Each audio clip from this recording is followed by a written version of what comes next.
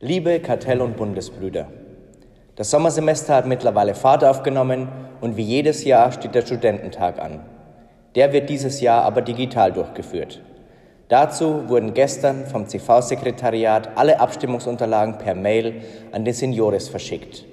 Darin finden sich die Berichte des Donauvororts und die Vorstellung des Aachener Vororts. Im Laufe der nächsten Wochen könnt ihr dann Konvente abhalten und die Ergebnisse spätestens bis zum 22. Juni dem Sekretariat mitteilen.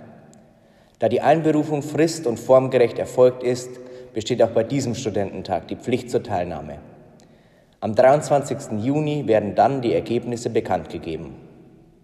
Damit beweisen wir im Studententag trotz der aktuellen Krise Handlungsfähigkeit und gewährleisten Kontinuität durch die Bestätigung des nächsten Vororts. Vivat Crescat Floriat Kartellverband ad multos annos. Damit er sich vorstellen kann, gebe ich an den kommenden Vorortspräsidenten Kartellbruder Julius Wendling von einer verehrlichen KDSTV Franconia Aachen weiter. Vielen Dank, hoher Vorortspräsident. Verehrte Damen, liebe Farben, Kartell und Bundesbrüder.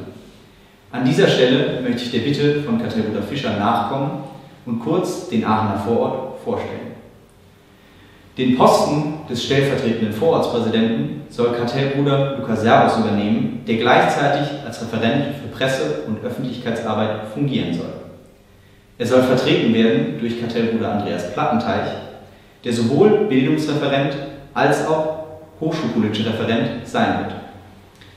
Die weiteren Referentenposten werden Kartellbruder Philipp Wunderlich als Haushaltsreferent, mein Bundesbruder Tobias Bisping als Organisationsreferent und Kartellbruder Manuel Dratzig als Auslandsreferent übernehmen.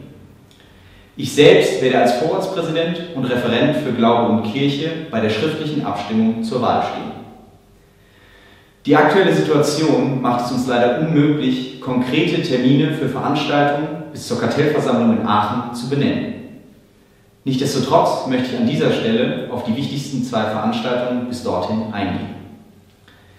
Der Übergabekommerz zwischen dem Vorort Aachen und dem Donauvorort soll in Regensburg am 2. Septemberwochenende stattfinden. Des Weiteren hat sich der Vorort Aachen dazu entschlossen, einen Winterstudententag im Januar 2021 einzuberufen. Falls die aktuelle Situation dies zulässt, würde ich mich sehr freuen, Sie und euch zum Übergabekommerz in Regensburg begrüßen zu können. Bis dorthin wünsche ich Ihnen und euch weiterhin beste Gesundheit.